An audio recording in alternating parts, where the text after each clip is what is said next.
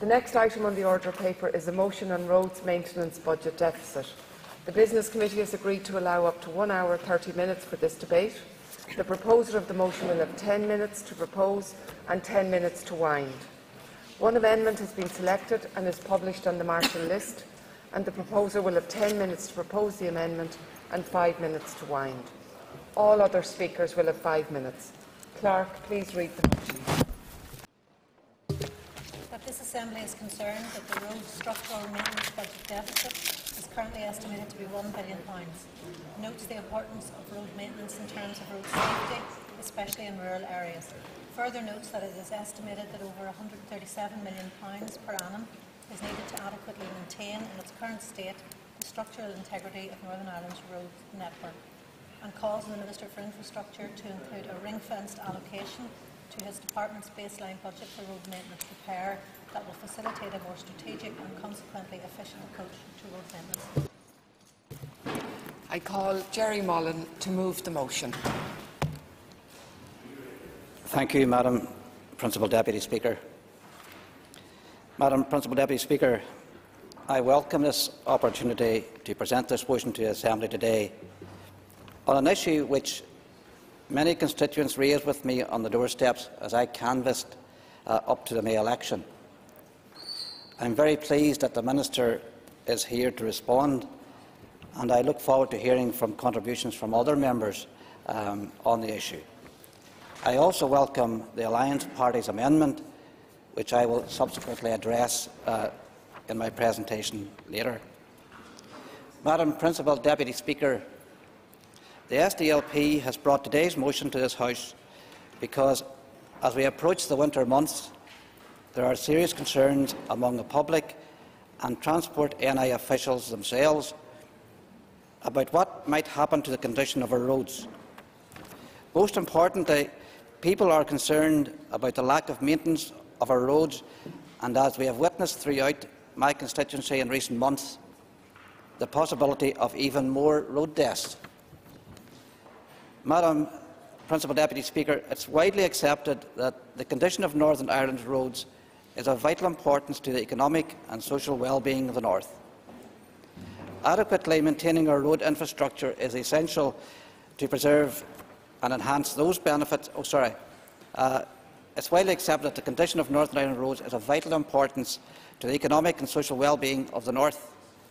Adequately maintaining our road infrastructure is essential to both preserve and enhance those benefits and to attract much-needed inward investment.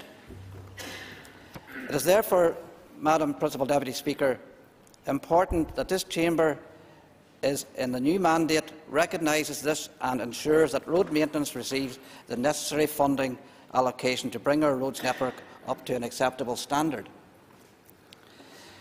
But for a number of years, Madam Principal Deputy Speaker, the quality and frequency of maintenance provided to the roads network has suffered due to insignificant funding, and there are a number of major reports and commentary that highlights the detrimental impact of this issue.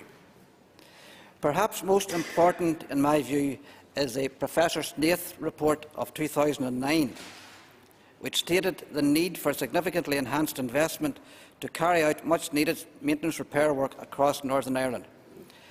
Madam Principal Deputy Speaker, the Snaith report also states that historical levels of funding are unsustainable and that underinvestment has created a vicious circle. As roads deteriorate through lack of planned maintenance, they require expensive patching to avoid public liability claims and maintain road safety. This draws funding away from good value resurfacing and surface dressing. This is an important point as over the years we have seen a short-term patchwork approach to maintenance projects, especially with the temporary filling of potholes and other road surface defects, which do not deal with the issue and cost more further down the line. Madam uh, Principal Deputy Speaker, we are now some seven years on since the publication of that report, and I have not seen any uh, concerted effort to address this funding shortfall, and this is having severe ramifications for many road users across the north. In my own constituency of East Derry, there is growing anger and frustration among local people about the decline in the state of the road network. They are angry that the issue does not get the attention that it deserves, or uh, from the Executive or from the Minister. Each week, Madam Principal Deputy Speaker, I have constituents contact me from places like Kilrea, Glenullin and Ballerin concerning conditions of their roads and the crater-like potholes they have to avoid on a daily basis while travelling to work or leaving their children to school. These unrepaired potholes, Madam Principal Deputy Speaker, can cause serious damage to many cars on our roads. Last year, there were 600 claims made against the Department of Regional Development for damage to vehicles caused by the state of our roads. Almost 200 of those came from the northwest of this province, which is testament to the state that they are in. The Department is paying compensation and losing money due to the historic failure to take strategic action. There is also concerns in East Derry about road safety measures, especially on the Agivey Road, the Ramil Road and roads around Feeny and Fort Lane. After a number of road deaths, people are concerned that road safety measures may not be at an adequate standard, and I would welcome the Minister's view on this. Madam Principal Deputy Speaker, turning to today's motion, we have also learned over the past 12 months of the colossal backlog concerning the road maintenance programme, which is now estimated to be £1 billion. And this backlog is having severe consequences across each and every constituency. It has limited flooding measures, gully cleaning, pothole repair and investment in road safety measures. We have seen, Madam Principal Deputy Speaker, many parts of our roads marked for repair, but they have yet to be fixed.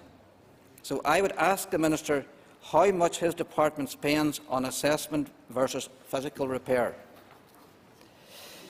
It has been independently assessed that the overall annual budgetary requirement for just maintaining our roads is between 137 million and 141 million pounds. This money is to keep our roads in the condition simply as they are and is not meant for any service improvement. This is a scary situation when you consider the state of many roads across the network. Madam Principal Deputy Speaker, it's easy to see that in the past number of years the budget allocation given to roads maintenance has fallen substantially below the figure required.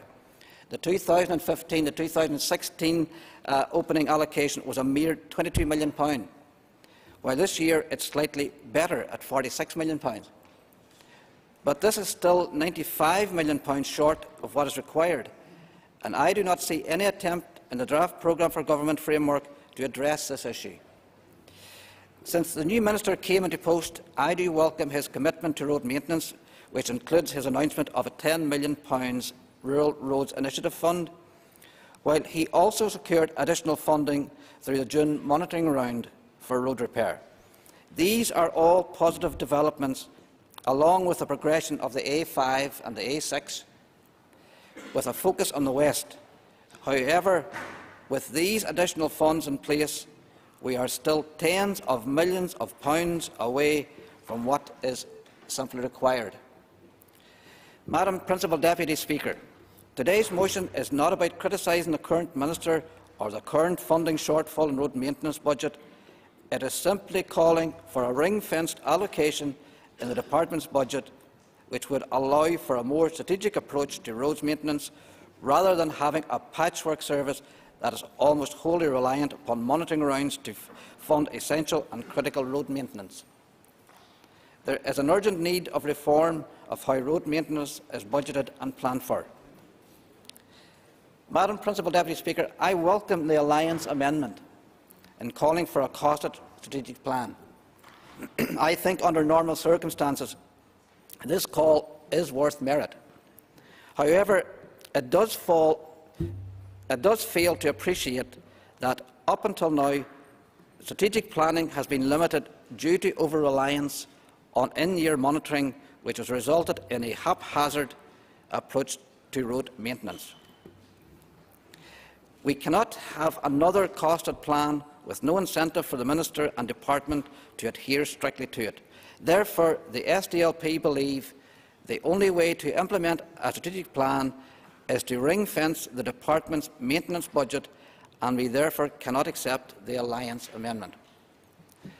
Madam Principal Deputy Speaker, any motion concerning infrastructure investment always comes down to how do we pay for it. If we agree there is a need to increase the road maintenance budget to £137 million, then we need to forensically examine the Department's budget and the Executive budget. For example, we have seen departmental responsibilities transfer from the Executive Office, but money has not followed this. The Minister must also put the case to his Executive colleague, the Finance Minister, to ensure that sufficient funding is provided. All revenue-raising options that do not penalise the poor must also be put on the table, Mr uh, Principal Deputy Speaker, and they must be thoroughly considered. The member bring his remarks to a close. To conclude, I hope this is a good debate, the main theme of which is to improve road maintenance programmes. The infrastructure of the North is much too important to neglect, and we, time is up. we do not want to further exacerbate the condition of our roads. Thank you, Madam Principal Deputy Speaker. I call Ms Kellie Armstrong to move the amendment. Thank you, Principal De Deputy Speaker. On behalf of the Alliance Party, I welcome the SDLP motion placed before us today, but as my amendment confirms, I seek to make the intention more robust by asking the Minister and his department to develop and, importantly, publish a costed strategic plan for road maintenance and repair that will be included as part of the Department for Infrastructure's ongoing work programme for the next financial year 17-18 and confirm the requirements for, that the department will need to deliver the capital structural maintenance programme until the end of this mandate.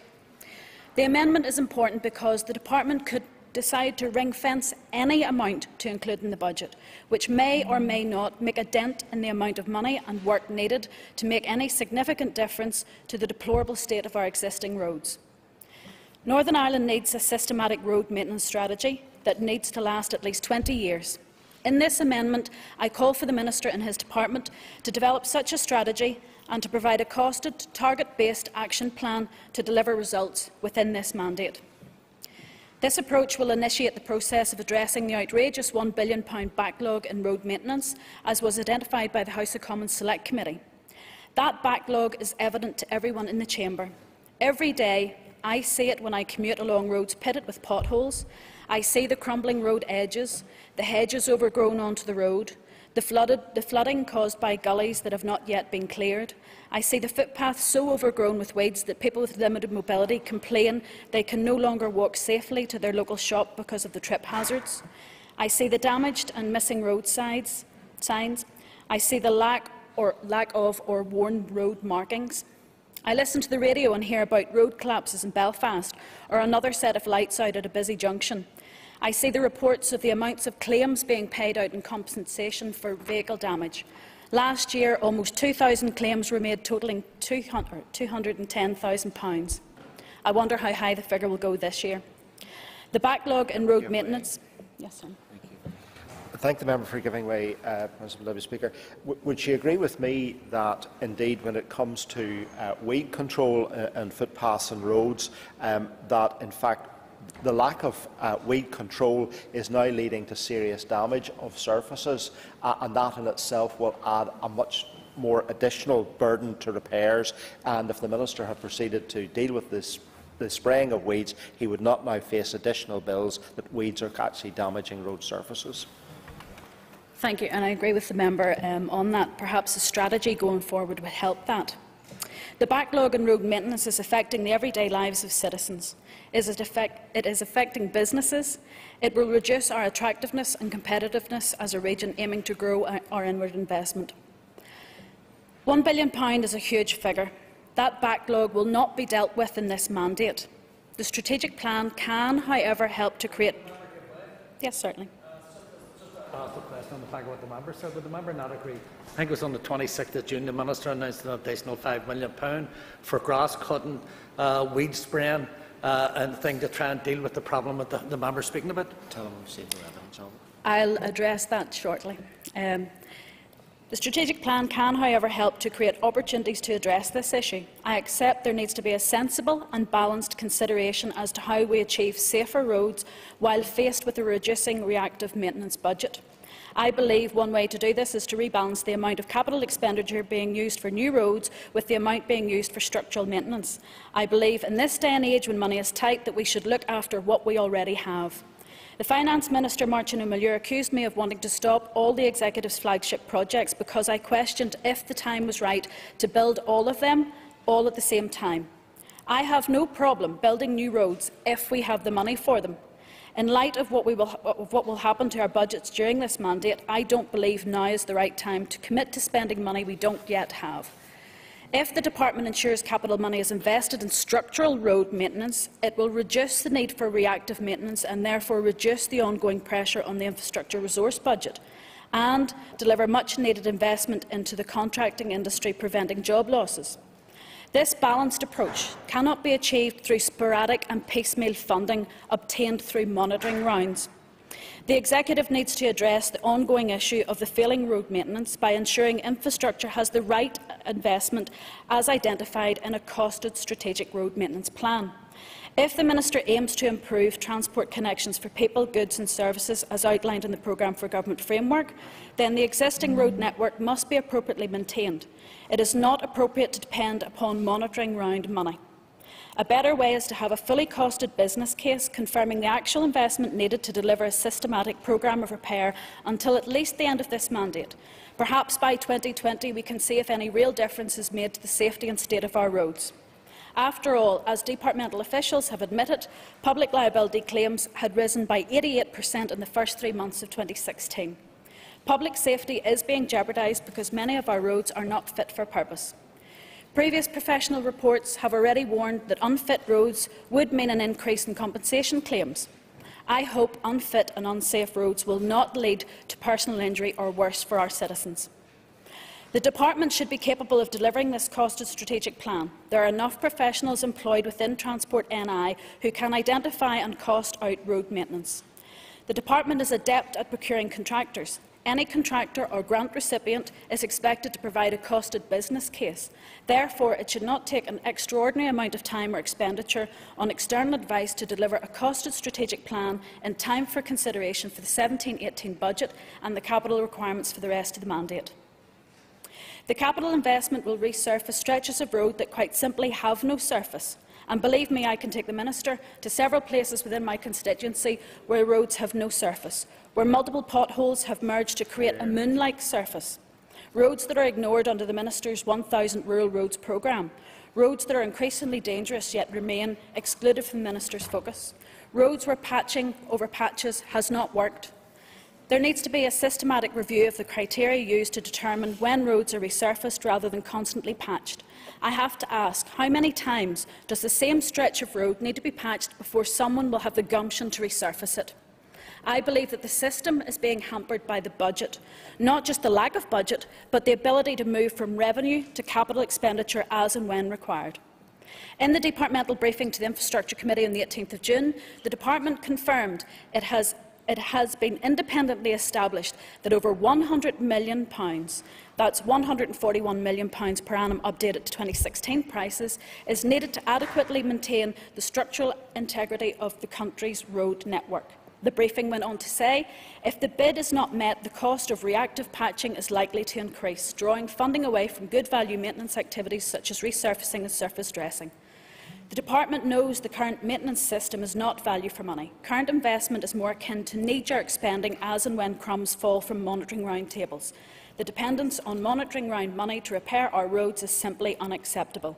The plan should include revenue commitments from 2017 to the end of this mandate to ensure roads are in a safe, functional condition and not scarcely meeting safety standards. In 2016, Snaith reviewed the maintenance funding requirements. Seven years ago, he highlighted the need for a maintenance budget that should sustain and improve the road network to a proper standard so that it will be safe and comfortable transportation in an economic manner. By ensuring there is ongoing appropriate resource funding, the Minister will enable investment in Transport NI to ensure small potholes are filled quickly and effectively, drains are cleared, reducing flooding and increasing safety, appropriate hedge cutting and weeding will take place and that grit is available this and every winter. Northern Ireland has an international reputation as a place of opportunity and beauty. If we want to attract investment, to encourage business and to provide connectivity for local people, then we need infrastructure that works. Let's be honest, our roads are our biggest asset. We have the longest road network in the UK. We are highly dependent on roads, yet we lag behind all other regions because not enough investment is made into our infrastructure. Let's get a lot more clever about how we invest. The only way we can do this is through better strategic planning and less dependent on monitoring rounds to provide appropriate investment in our roads. Thank you. I call the chairperson of the Committee for Infrastructure, William Humphrey. Principal Deputy Speaker, and the, um, welcome the opportunity to speak today as Chair of the Committee and to outline the Committee of Infrastructure's consideration of views on the financial issues relating to road maintenance.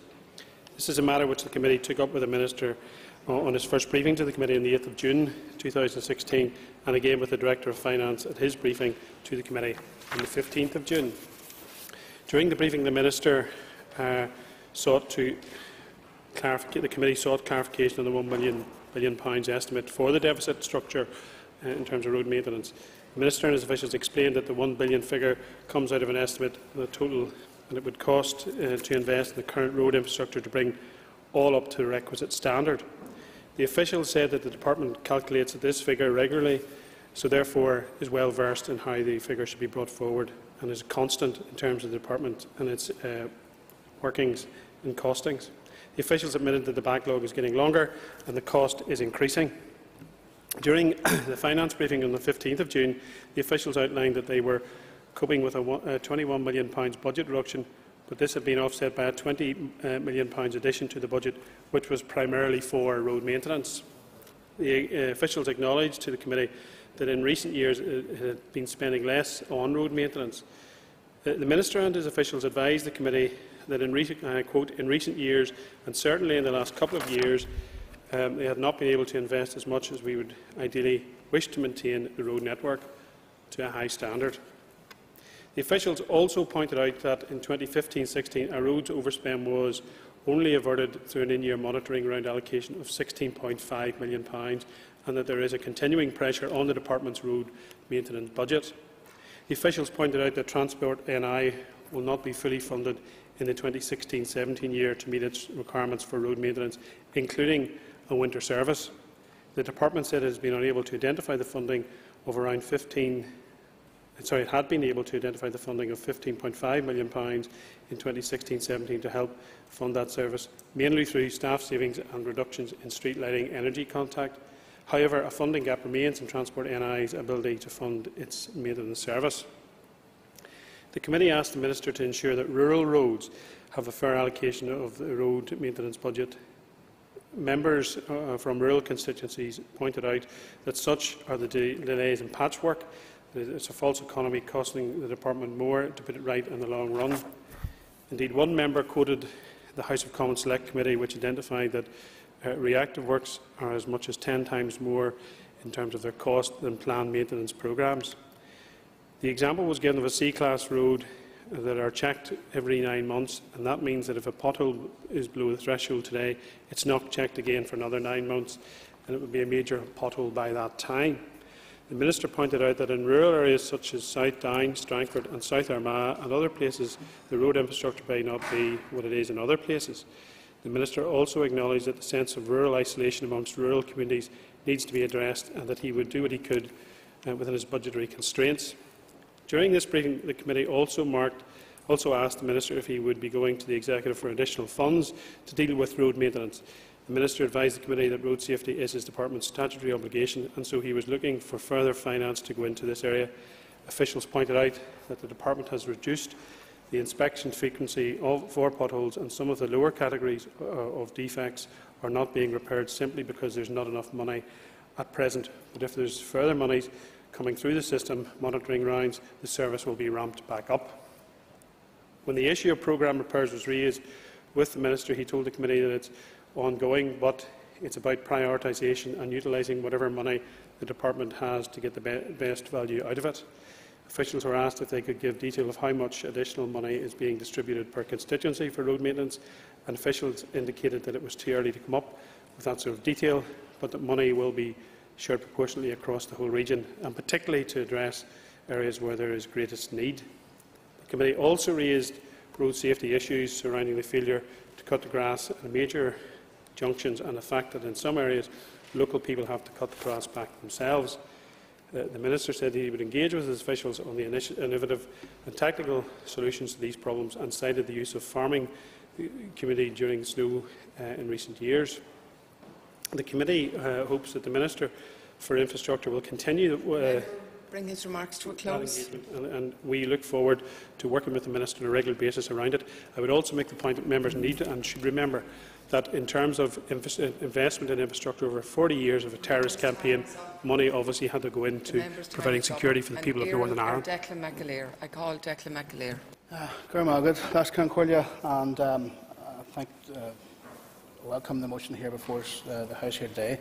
Uh, this is a very, very uh, serious motion. Uh, deserves uh, uh, in-depth consideration. Um, it's not the first time we've had similar motions relating to structure and maintenance of our road network here before us.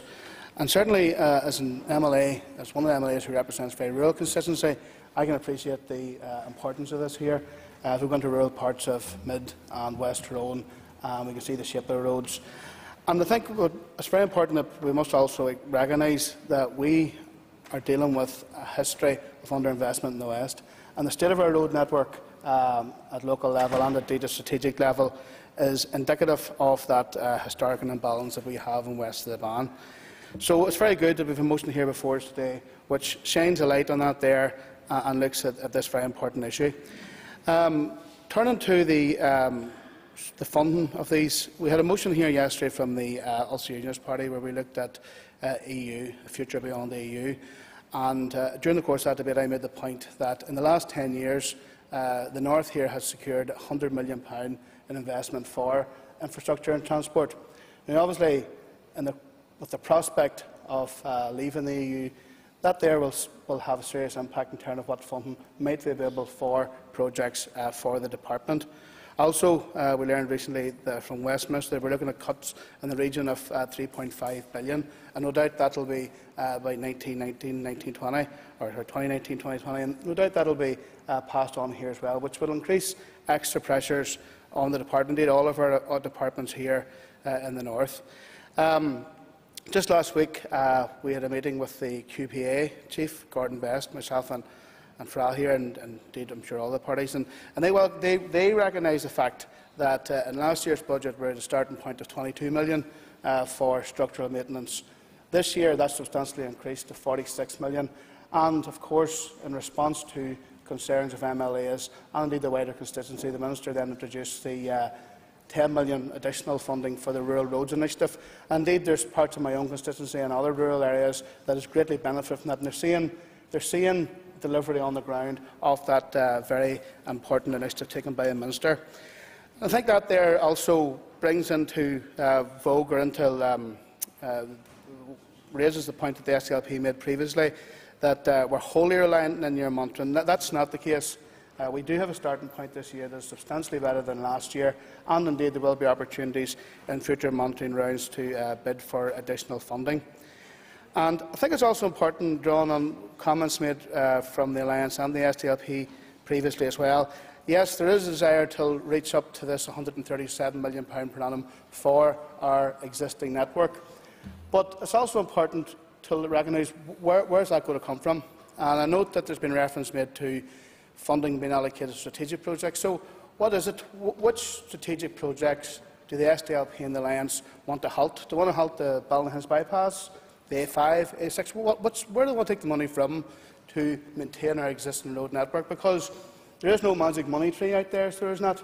Um, there's cuts coming down the line from Westminster. The Brexit is going to uh, give us additional challenges. So I think it's important that rather than presenting these wish lists uh, uh, as to what we would like to see, and we all would like to see it, it's important to come up with uh, answers as to where the money should be shuffled from in terms of the department to fund this, uh, the, the, the, the, the structural maintenance. So in conclusion, uh, I welcome the motion here. It shines a light on a very, very important subject and certainly from our perspective we'd be happy to support it. Gramina Magov. I call Jenny Palmer. Thank you, Madam Principal Deputy Speaker. Uh, I want to thank the proposers of this motion for bringing it to the Chamber. It is without doubt a vital issue and one in grave danger of being obscured due to the department's focus on the large-scale prestige projects. Simply put, maintaining the roads is not the most exciting or interesting aspect of governance. It gives precious few opportunities for press conferences or photo opportunities. Indeed, the idea of well-maintained roads might worry some representatives in here who routinely appear in their local papers frowning over a pothole in high-vis jackets.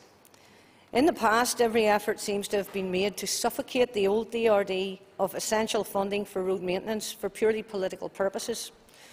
This was a shameful game of politics, and the current executive now, has now found themselves victim to the unreasonable budget constraints they created in a manner similar to their treatment of the Health Department. I can only hope, Mr Speaker, Madam Speaker, that the current executive's response to this crisis regarding road maintenance is better managed than their management of the health service was in the last mandate. As a result of this, Madam Speaker, it is of the utmost urgency that this toxic legacy is addressed. To have a billion pounds deficit hanging over the head of the department puts in jeopardy not just the future projects, but the safety of every person using our roads. The patchwork, I will maybe when I've finished, the patchwork approach to maintenance, whereby seemingly the squeakiest wheels get the oil, rather than going about it in a more measured and planned fashion, cannot continue. The haphazard approach, whereby the bare minimum is spent on holding things together, must end. The crucial point is that it takes an estimated £137 million per year simply to maintain what we have. In terms of the original motion, the Assembly most certainly should be concerned that the road structural maintenance budget deficit is currently estimated to be £1 billion. Only last week, the Ulster Unionist Party launched a document, a vision for Northern Ireland outside the EU. In it, we identified 10 key asks, one of which was for the trebling of the investment in infrastructure. This obviously includes hard infrastructure such as our airports, our roads and our railways. As part of that document, we urged the Northern Ireland Executive to treble its investment in infrastructure. This will require making the case to Her Majesty's Government that investing some of the funding currently being directed to Brussels should be used to increase Northern Ireland's competitiveness. This issue is only set to become more acute in the future, given the imminent withdrawal of EU funding and our potential ineligibility to apply for future EU structural funding for large-scale projects. An example of this would be the TEN-T funding, of which we stand to lose £58 million. That money must be found if departmental plans are not revised. And I am deeply concerned, Madam Speaker, that the funding for basic road maintenance is seen as an easy pickings for projects that extend beyond 2020 Treasury assurances. Maintenance of our roads must be the number one priority of the Department for Infrastructure. Poorly maintained roads contribute to road accidents and deaths, and it is important that every, everything within the power of the Department is done to ensure that every road is as safe as possible. The fundamental suggestion of this motion to ring fence an amount specifically for road maintenance has real merit though further analysis of the exact amount as well as the mechanisms to ensure that it is regularly reviewed would obviously be essential. The very nature of development means that the Northern Ireland grows, these costs will grow. This issue must be addressed sooner rather than later, Madam Speaker. The current approach of spreading the funding as wide and as shallow as possible is merely papering over the cracks. If a more intensive and systemic approach is not taken, the hidden stresses on the road service will continue to build until it simply cracks, like our poorly maintained road. I will give way. Member for giving way. I think, could I, could just put to the member, to be fair, I don't think the huge deficit there is in terms of the investment is required in infrastructure across Northern Ireland, in particular in roads, and the issue we're dealing is something which has been the responsibility of the Northern Ireland Executive since this place has been established. Surely it is because of years of uh, lack of investment by Her Majesty's Government, because money had to go in and resource, valuable resource had to go in to providing security in Northern Ireland. Would the member accept that point? And the member has an extra minute. Thank you, Deputy Ma Ma Principal Speaker. Uh, yes, I, I accept that, uh, that that was a, a major issue in Northern Ireland and the Troubles, but I don't accept that the balance between capital and revenue is correct for to d- deliver the, the, the infrastructure that we actually need to maintain. Madam Deputy Speaker, The member give way. Okay. Um, thank you, member, for giving, giving away. Um, does the member not agree that many of the repairs that appear, many of the repairs that have been done in recent years, really are just appear to be a sticking plaster to the solution because of the, because of the lack of strategic planning? Yes, potholes and edge failures are repaired, but this in many instances continues to be only a temporary solution, as there appears to be very little maintenance budget diverted towards investigating the real causes of such faults, uh, such as drainage problems. And I think we need to divert more money there. thank you. I just would remind members that um, when members are good enough to give an intervention, uh, intervention should be brief. Thank you, Madam D- D- Principal Speaker. I support this motion and indeed I have no quarrel with the amendment and I do indeed hope that we can expect a more strategic and consequently efficient approach to road maintenance in the future. Thank you. The Business Committee has arranged to meet at 1 p.m. Therefore, I propose, by leave of the Assembly, to suspend the sitting until 2 p.m. The first item of business when we return will be question time. The sitting is by leave suspended.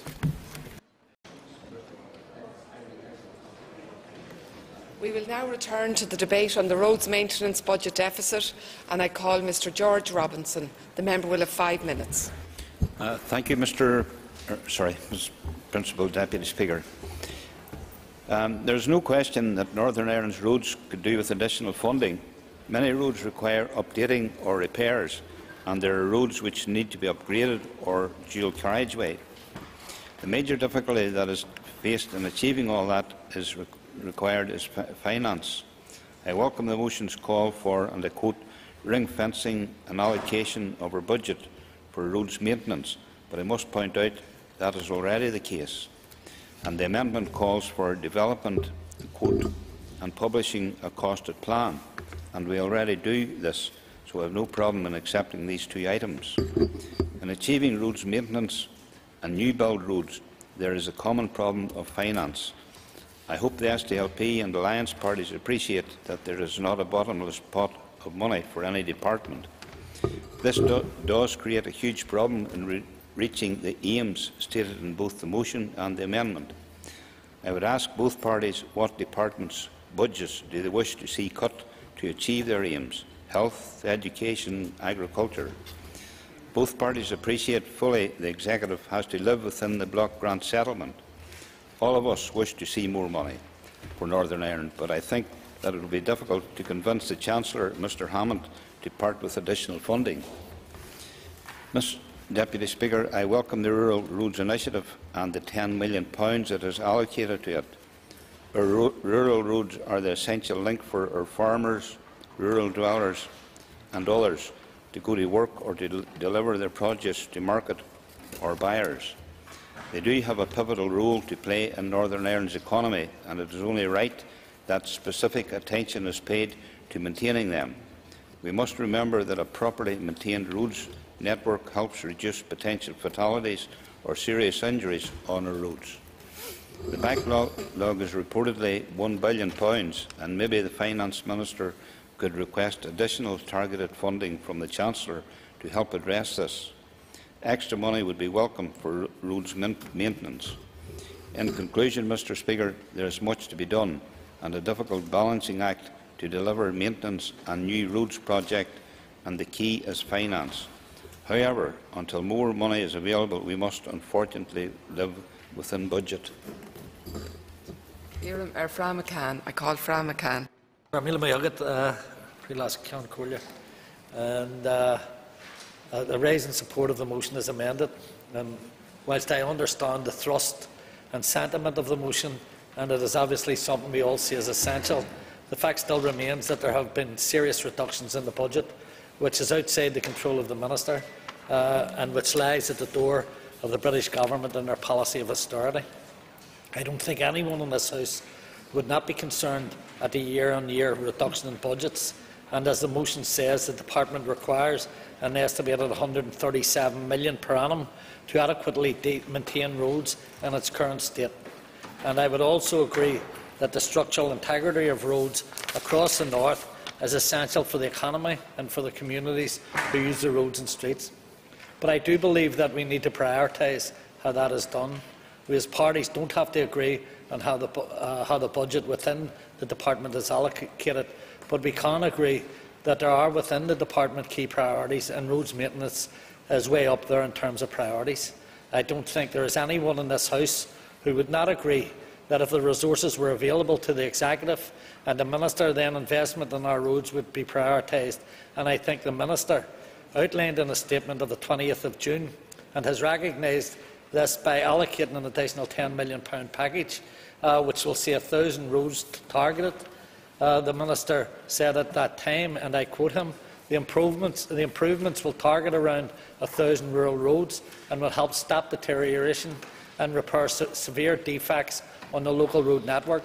The Minister also showed his intent by saying during this period of financial constraints and of the need to prioritise meagre resources, and it is essential that we keep on top of urgent repairs. He went on to say for too long rural communities have dropped down the priority list. Today will go some way with, to addressing that imbalance and give rural communities across the region roads that are fit for purpose uh, and, and, which will stand the test of time. But also on the 25th of June, uh, he also announced that he had secured five, an additional £5 million uh, from the June monitoring round to enhance routine maintenance services, the allocation of which was passed uh, to Transport NI, ensured a second grass cut across all areas, tackle a serious problem of potholes, an additional gully clean uh, was also on the list for urban communities, and the repair of street lighting outages. All of these are a major source of complaint to our constituents, and the previous Minister, Michelle McIlveen, and now Chris Hazzard, have recognised the importance of investing in this aspect of maintenance by allocating uh, additional resources. I have in my own constituency recently been dealing with a number of complaints uh, which falls just outside the remit of the department, uh, but they have an overseeing role, and that is the role of utility companies and the impact their work has on roads and streets, uh, which they dig without consulting local people. They might dig a trench in a street one week, causing a major upheaval, leave and then come back the next week and just dig just yards away. They leave a patchwork quilt effect on our road, streets and footpaths, which in the end adds to the belief that the department are responsible for the cost of dealing with this mess. Another major problem has been the sinking manholes on roads, making it dangerous for road users and a nightmare for residents who have to put up with the constant noise which makes life difficult. And again, uh, many think that the department is responsible for this uh, when it is a responsibility for outside arm's length bodies. Cion Corla, sorry if I drifted slightly off the motion, but this is all part of what people see as road maintenance and therefore our responsibility. It would be great if we had not got the financial constraints faced by this executive. It would be great if the minister had the resources to cure, cure all our ills, but that is not the times we are in. But I do know that if the minister, the minister will continue to argue the case for a better deal in terms of budget allocation to ensure our roads are safe places to walk and drive. I support the motion as amended. Paul, Paul Girvan. Thank you, Principal Deputy Speaker. Uh, I too stand to speak uh, in favour of the, the motion as presented and the amendment. But uh, as it stands, we currently have a deficit as identified within the motion uh, on road maintenance and appreciate that uh, this is an ongoing problem uh, and is becoming worse year on year. But there seems to be very little tie-up, and uh, uh, it's something that I have a difficulty in, tie-up between those who are making claims for damage to, to their vehicle or whatever, uh, and quite a, a, substantial amount of money is spent paying out claims. And we had one um, example given to us uh, where there had been a, what would be deemed to be uh, a pothole on a road and that pothole, a few hundred pounds would have repaired that pothole, but by the time it was all came through, they had paid out claims in not just hundreds, but in thousands. And I'm not, I'm not quite sure of the exact figure, but there was quite a few thousand pounds paid out in claims to motorists who had both wheels and suspension damage. So that's an area that I think we should be looking at, trying to offset what we spend on paying out on claims. Uh, but we're, we're in a very bad position in relation to uh, the, the condition of our roads simply because of underinvestment. And appreciate that we're, we're on the back of 40 years where we weren't able to spend much of our money uh, on infrastructure. We were spending our, our, our money uh, because of a campaign of uh, terrorism, which was uh, taking money from other, other areas. But one, one thing that I do think that contractors add to the problem that we have on our roads, we have uh, a lack of a joined-up approach between uh, the uh, services that are being put in uh, by both roads, uh, by light, street lighting, uh, telecommunications, gas, uh, Northern Ireland water, and uh, invariably you hear, oh, they've just put down a lovely new surface on that road, and three weeks after it's down, somebody's in digging a track up it uh, uh, to put in a water main, albeit they were told that they were going to be surfacing that road, and as a consequence, they reinstated. But they don't always bring it back to the condition that they had it, they got it in originally. And I think the reinstatement is an area that we need to focus on to ensure that roads are reinstated by those contractors that are involved in putting forward and uh, doing that, that the, the works. Uh, that they don't just basically say, well, look, we'll leave it in that condition and let road service deal with it whenever they're taking on for uh, a resurfacing of it. So I do, I do think that we have uh, got to make sure that uh, reinstatement is done correctly. And those service providers who do not do it prior to a scheme being put forward should be made to foot the bill uh, for, for the proper, proper reinstatement of it, because they're well aware in their programme of events that they will be uh, upgrading either uh, the gas network or the water main. And I do think that there's a lack of forward planning, and I think that that should be what we call total joined-up government. It's all dealt with within one department, and it should be totally joined up, and not one person saying, well, that's to deal with the claims. As long as we have the money in the claims, keep our legal team going. I do believe that that's what we are doing on many occasions, keeping people in the legal profession employed, fighting claims, uh, and uh, also not necessarily rediverting our resource and appreciate that what has been said earlier in relation to having flexibility within the budget. The budget itself uh, is very is constrained. We have difficulty in, in uh, tying up everything that we have to do within government in Northern Ireland, never mind uh, additional work. But I think we should be, we should be ensuring that we uh, cut the cake accordingly and that we prioritise what we do spend our money on appreciate that we've, it's great to be adding new network on all the time, but it's not something that I think we should be always focusing on. Sometimes maintaining and up and keeping what we currently have as infrastructure in a good condition is better than adding additional mileage of new motorway, which, uh, and appreciate that some people say, well, look, I really want to see my dual carriageway or my motorway put in. Uh, we had a, a, major investment in the A8 where the dual carriage, where there's a new dual carriageway went in uh, from Belfast to Larne to, to link up that whole, whole section. And to be honest, the volume of traffic is probably less on that road today than it was 20 years ago because of the, the reduction of the number of boats coming into Larne. The case was made 20 years ago for that road. It doesn't necessarily mean it, stands, it means it stands today. So I think we should be focusing on uh, maintaining and upgrading our own existing road network and uh, prioritising where we spend Members for new time roads. is up. I call Danny Kennedy. Thank you. Uh, Madam Principal Deputy Speaker, uh, very pleased to make a contribution to this important uh, debate today, not least because of a more than passing uh, interest in this matter when I spent time in, in the former Department for Regional Development and still have the marks to prove it. Um, I, am happy to indicate broad support uh, for the motion uh, and the amendment uh, on behalf of myself and my party. Um, and I do want to assure the Minister uh, that uh, whilst my party no longer takes its place in the executive, we do want to contribute positively uh, on important issues as members of the opposition. So I hope that he will find useful, uh, uh, something useful in the contributions of non-executive parties in the debate today, especially from these benches of the Ulster Unionist Party. Mr. Principal, Madam Principal Deputy Speaker, structural maintenance and road maintenance generally have been amongst the Cinderella issues uh, kept fairly low down in terms of their priorities by past executives and certainly in terms of uh, proper financial planning. And the situation uh, which I inherited uh, in my time at, at DRD and which had evolved over previous mandates was one in which the funding of structural and routine maintenance was largely dependent on allocations made through the monitoring rounds in June, October and January annually, with most available uh, in the final monitoring round. And clearly uh, that left uh, the department at a huge disadvantage. Not only was it poor logic economically, it also made it virtually impossible for any of the contractors involved to properly plan the work involved in winter months, having been forced to lay off experienced staff and workers earlier in the year due to the lack of contracts.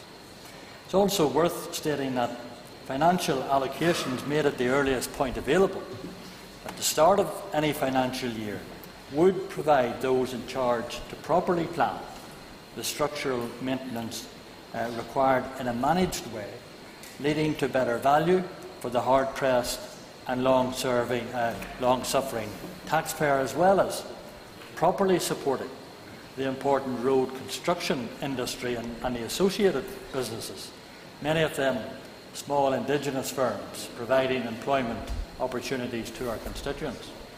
Unfortunately, I was never able to win that argument around the executive table.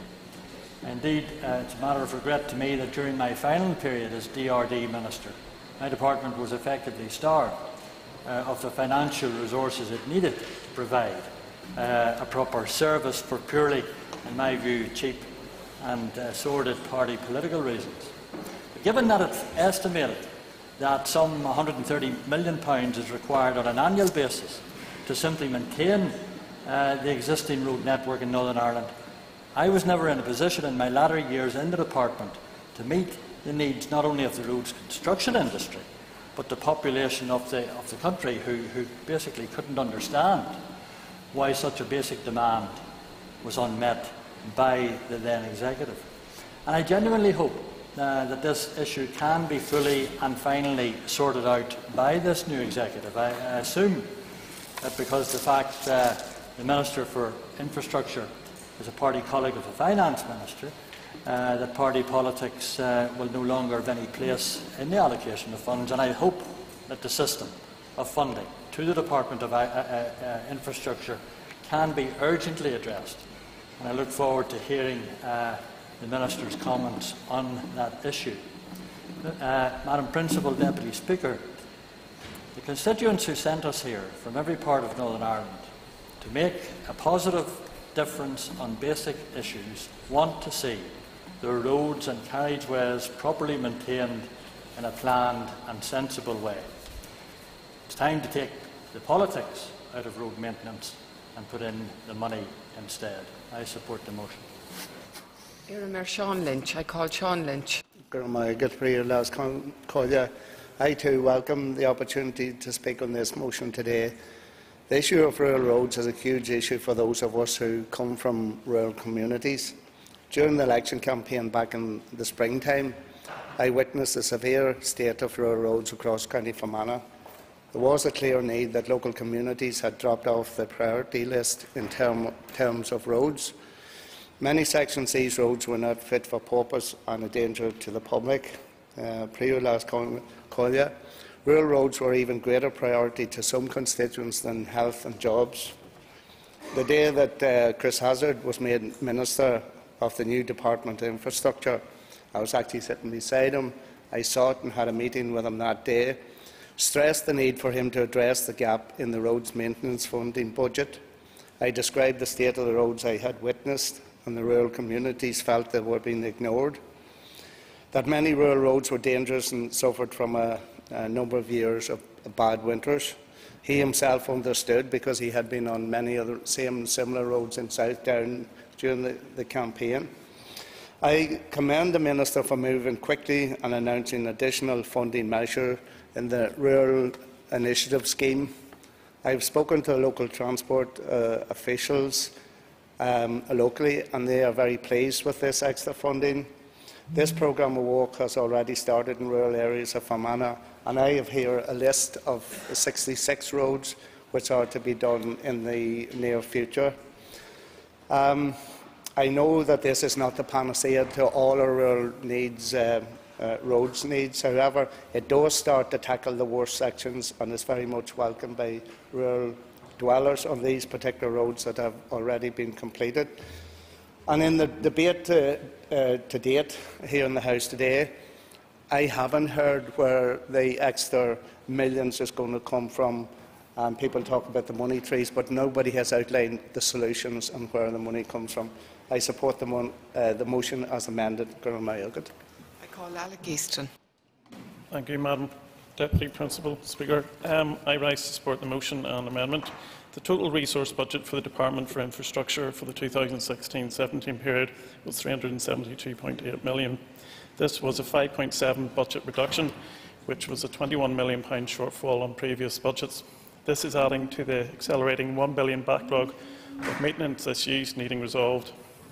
On the capital side, the total allocation to the department was £384 million. This budget incorporated a ring-fenced allocation of £46 million for road structural maintenance. We also see from the June monitoring round that the department received an additional resource funding of 5.3 million and an additional capital funding of 22.9 million, a total of 28.2 million pounds. The extra 5.3 million in resource funding allowed for two grass cuts at a cost of 300,000, gullying emptying at 600,000, pothole repairs plus patching at 3.1 million, road markings at 500,000, and street lighting uh, being fixed at 500,000 and some flooding hotspot areas uh, at a cost of 300,000. Um, I would agree that there's a, a, real problem over the last several years with not having enough resources being set aside for road maintenance, with potholes getting unrepaired, streetlights not being repaired, limited weed spraying and grass verges not being cut. All these things are important to the public, yet Transport NI are failing to get them done due to budget constraints. We can ask ourselves why maintenance issues are not being done, and the reasons are simple. Our block grant has been cut and money is a lot tighter. Yet, despite this, the budget is, uh, for the Minister's Department is up to the Minister and how he uh, uh, gives that money out to his department for spending. However, that does not mean that I'm not sympathetic to the shortfall of funding and recognise the need for more money. I recognise that many of the complaints that many of us are, are, getting have been on the issues of the potholes, the grass not getting cut, street lights being out, and especially the weed spraying, with only one weed spray uh, by Transport NI this year, which really doesn't cut the mustard. We can see from the evidence that failure to do the basic maintenance issues leads to major problems. For example, it has been revealed that 1 million has been paid out in compensation to drivers whose cars have been damaged by road defects over the last five years. There have been 7,500 claims lodged with Transport NI since 2011, with an average annual payout of £200,000 it has been revealed that there are more than 20,000 potholes across Northern Ireland. We had more resources for our maintenance budget, then many of these claims would simply not happen, as the repairs to the footpaths and potholes would have helped stop many accidents and tripping incidents. The result being that more money would have been saved, which could have gone back into the maintenance budget. The reality is that there is not enough money, and we need to look at this if we are to address the problem. I have no doubt there will be monies coming uh, through in future monitoring rounds. However, should the Department be relying on these monitoring rounds, while these are helpful, it does not resolve the budget shortfall. I would finally conclude by asking the party who submitted the motion today by saying it is well and good highlighting this, but can they tell us where they would get the money to fix these problems? What uh, budgets would they want to cut from other departments and how would they pay for any extra funding? Thank you. Our next uh, speaker will be Patsy McGlone, but I just want to make uh, the member aware that I will be calling the Minister at 5 to, so he will have two minutes if he wishes to avail of it. Um, uh, uh, uh, thanks very much indeed, um, uh, Madam uh, Principal Deputy Speaker, and thank you for welcoming on the motion. As mentioned by my SDLP colleagues, we brought this motion to the House today because, as we approach the winter months, there are serious concerns around the future deterioration of our roads, and we've already had much uh, publicity around the whole issue of the amounts of expenditure by way of compensation for, I'm sure all of us have seen the, and witnessed the buckled rims uh, the, the car tyres ruined as a result of serious potholes. And that, too, a lot of the frequency of monitoring of our rural roads in particular has to be brought to bear. I think monitoring and checking on those rural roads could ultimately wind up saving the department an awful lot of money by way of compensation and indeed the admin that goes with it. Um, we've had a serious lack of maintenance on our roads and it isn't just particularly the rural roads in the north, it's also our cities, towns and suburbs. Uh, around 25,000 kilometres of roads, more than 18,000 kilometres of these are rural roads in the north, meaning it's an issue more likely to affect those rural roads. It's vital to our economy.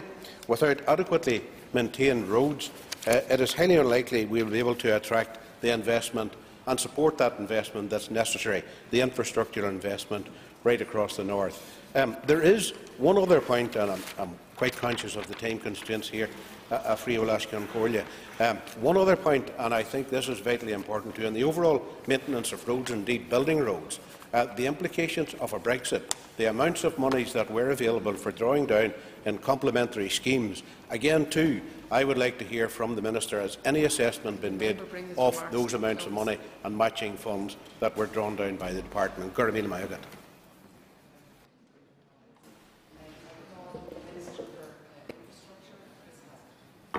I welcome this opportunity to debate the issues on road structural maintenance with the Assembly here today and have listened with great interest to the issues and concerns that members have raised.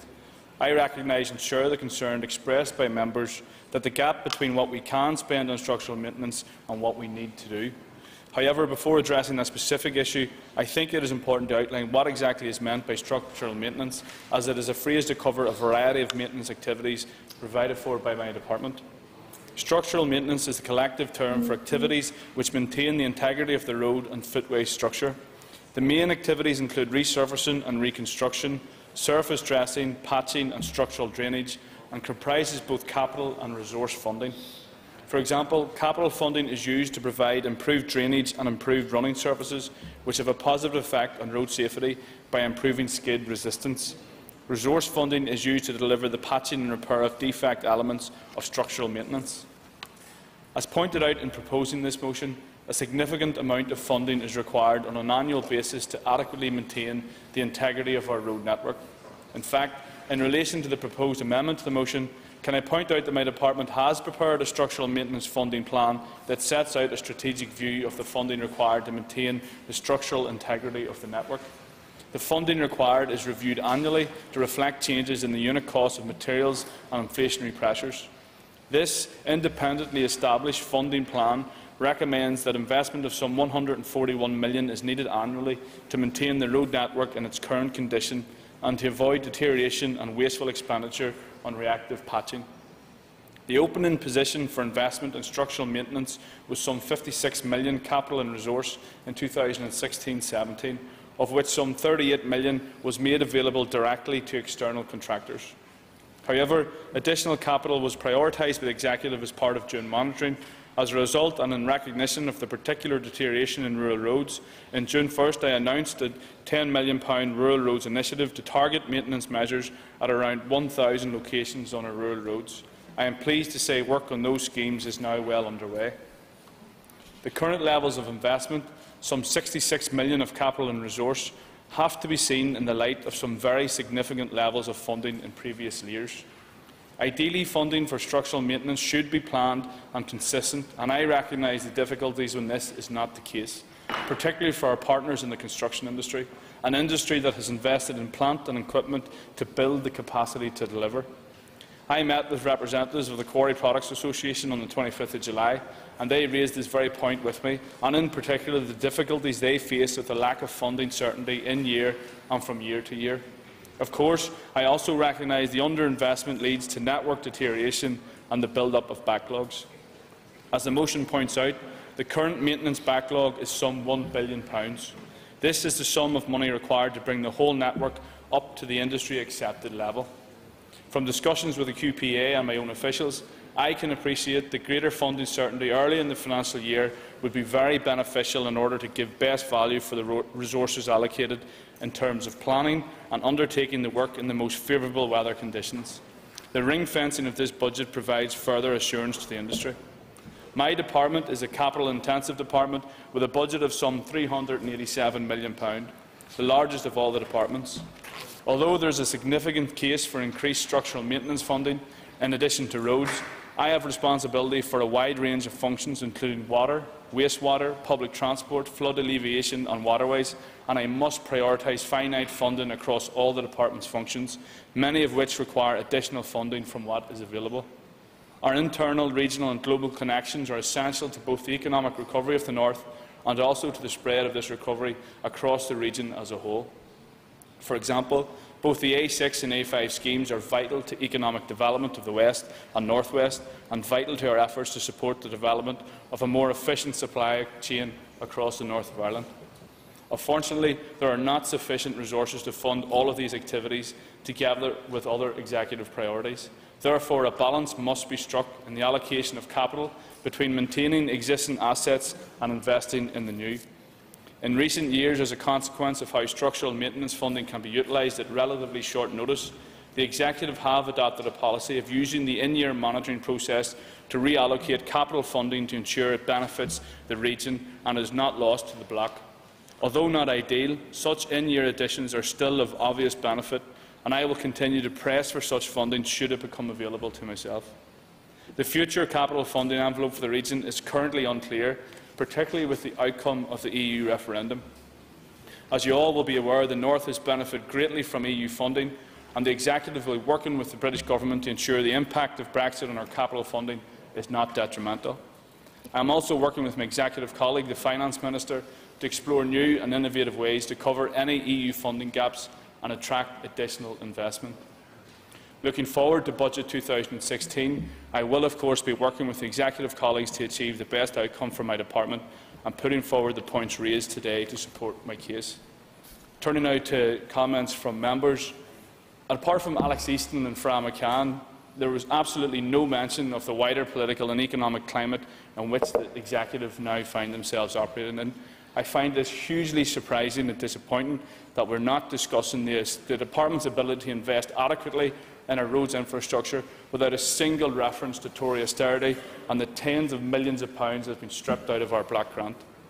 Moreover, our ability to ever tackle the £1 billion backlog in roads maintenance has been dealt a serious blow by Tories, once again seeking to drag us out of Europe and cutting the cord to vital European infrastructure funding. Jenny Palmer raised the figure, I think, earlier on, 50-odd million.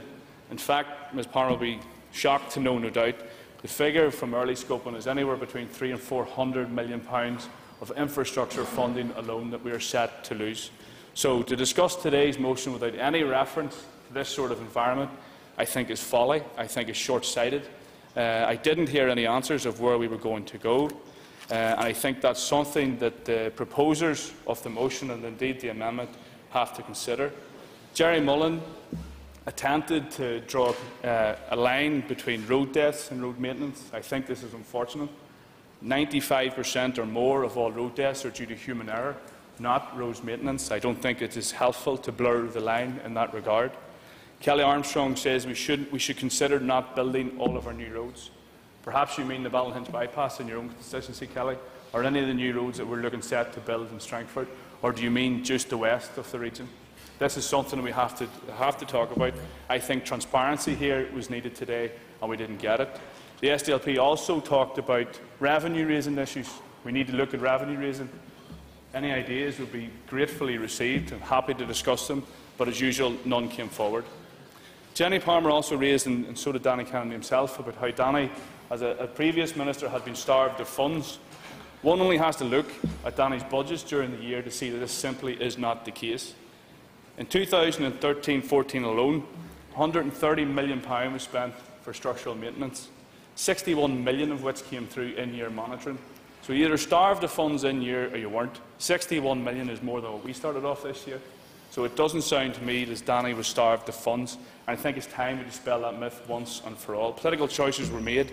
We heard today of the A8. Perhaps the A8 was a vanity project, I don't know. But maybe that was money that could have been better spent elsewhere. Finally, the, the last comment I want to speak for House of Members is Paul Girvan. And I have to agree with Paul entirely on this. The, the reinstatement of roads and the priority uh, and the, up, the need for a joined-up government here. I'm delighted to announce in our Rural Roads initiative this has been the case. Some of our rural roads projects have been held back to NI Water complete various projects in my own constituency, South Down. This is the case, and this is what I want to see in all of our roads projects going forward. So, in conclusion, I trust the House will be assured of my commitment to supporting the funding of road structural maintenance, and it is certainly high on my priorities both this year and looking for forward to Budget 2016. Although at this stage I cannot provide assurance as to the amount of funding that will be available, I certainly support the provision of a substantial allocation from my department's baseline, which could be ring-fenced to provide greater assurance provision in the future.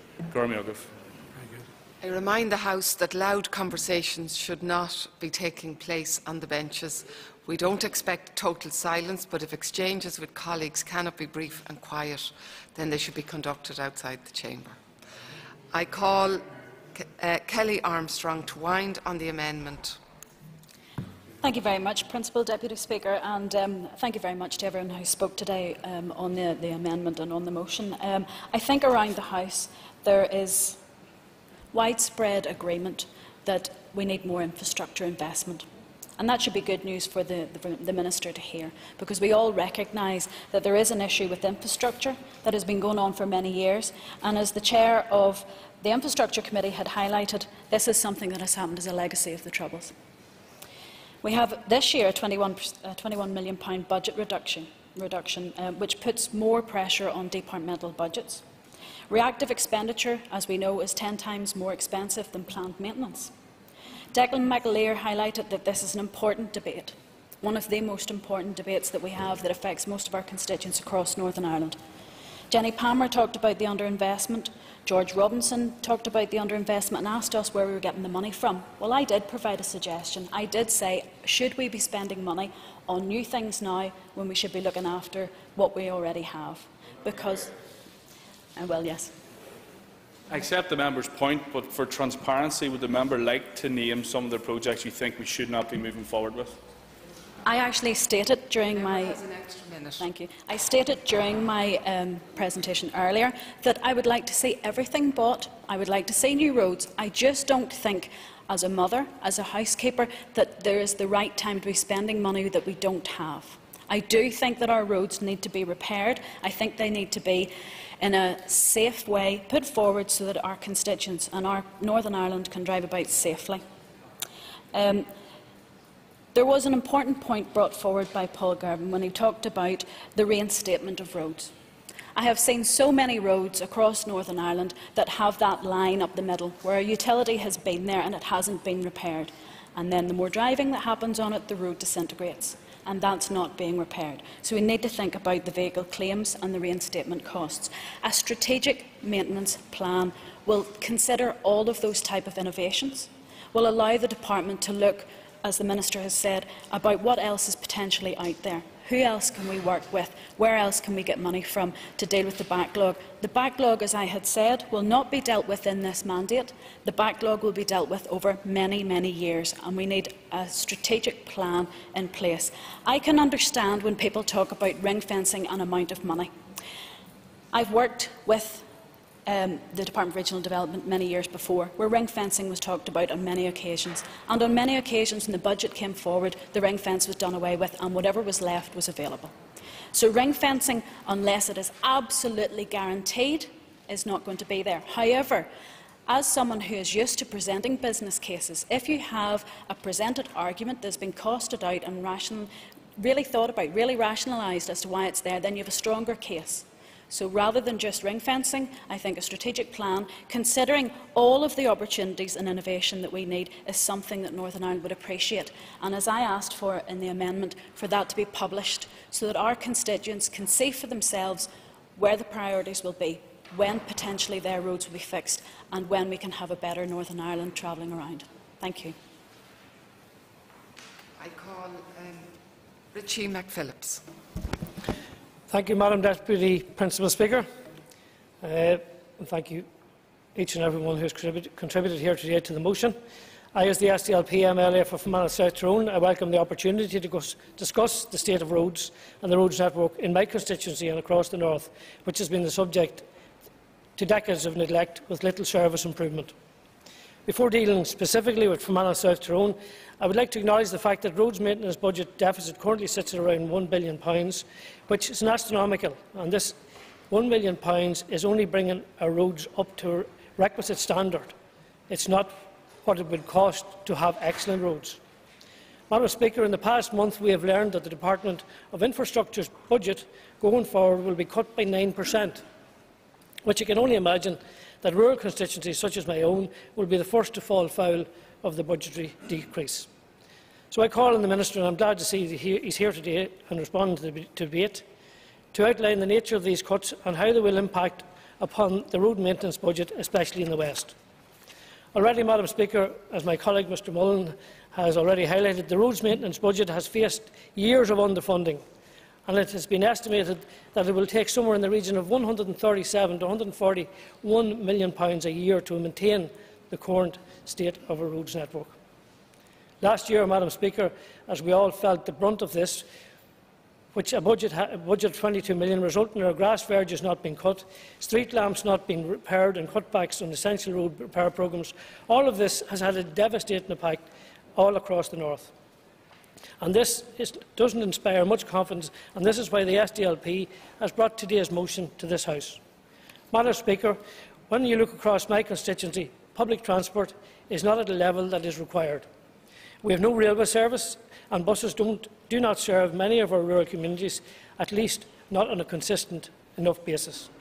The people of Fermanagh South Tyrone are heavily reliant on their own personal transport for work, for accessing health services, hospital services, education facilities, banks and post offices. Access to these services can be a big challenge and it's vitally important that these communities, many of whom being rural areas, are properly maintained by a roads infrastructure. But, Madam Speaker, the reality is that these people in Fermanagh are sick and tired of the state of our roads and the road network. They simply do not believe that they get a fair slice of the cake here in Stormont, and that Fermanagh, especially rural areas, does not get the attention and funding it truly deserves. If we look across the whole Western Division, which includes Fermanagh right up to Derry and Mid-Ulster, the roads maintenance budget has depreciated from 35 million 2011-12 to 18 million in the last financial year. This is severely impacting not only on the current state of the roads, but also on any road improvement initiatives.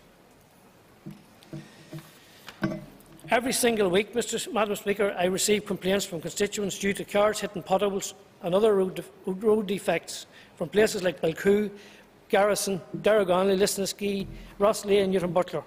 We have to ask ourselves, what has Fermanagh roads got?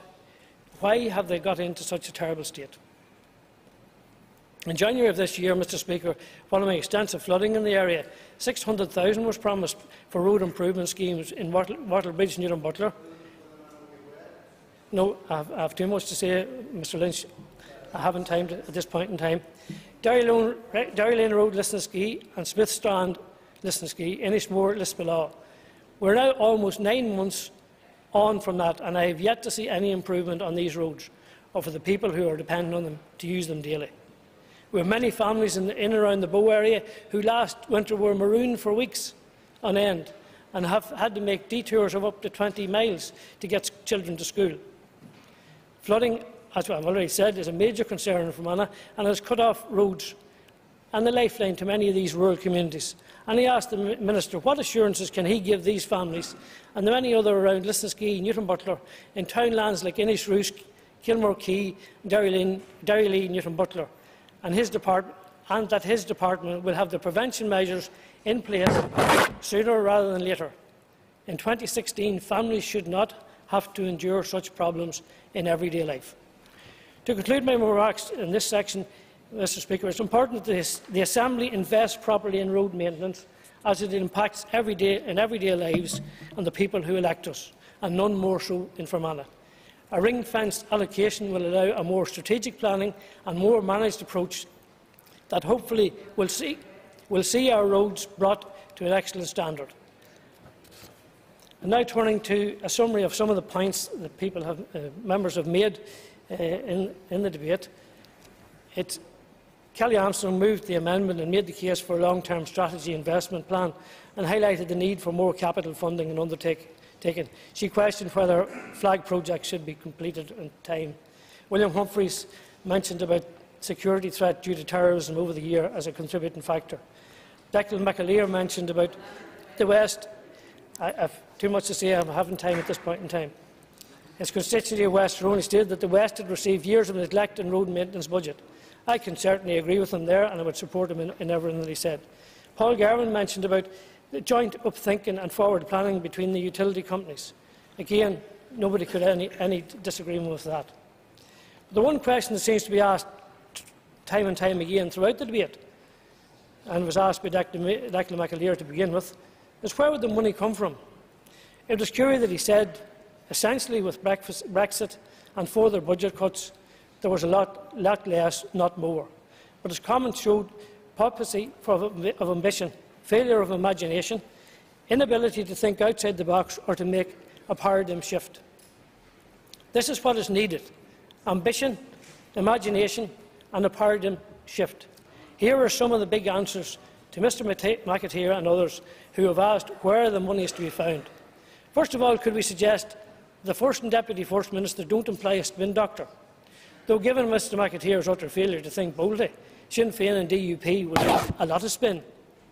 Second, don't spend money on the Social Investment Fund, 80 million, where, where there are better, more effective, more value for money neighbourhood renewable schemes, which, would, which could be spent, spent the money on. Third, don't allow the DUP to continue to strangle North-South.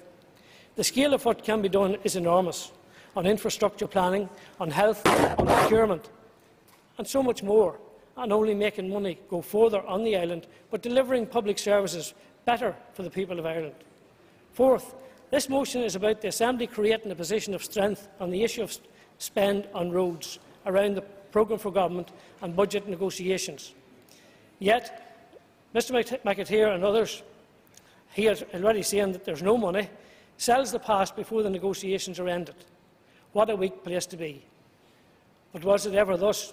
All the big new roads are in the east, Carrick to Jordanstown, Ballymoney to Ballymena, Larne to Ballinure, and not a foot of the A5 or the A6 has been started or even opened. Talk about getting your eye wiped. I ask the House to support our motion. The question is that the amendment standing on the marshalled list be made. All those in favour say aye. Aye. Contrary, no. I think the ayes have it. The ayes have it. The question is that the motion as amended be agreed. All those in favour say aye. Contrary, no. I think the ayes have it. The ayes have it. This concludes this item of business, and I invite members to take their ease while we change the top table.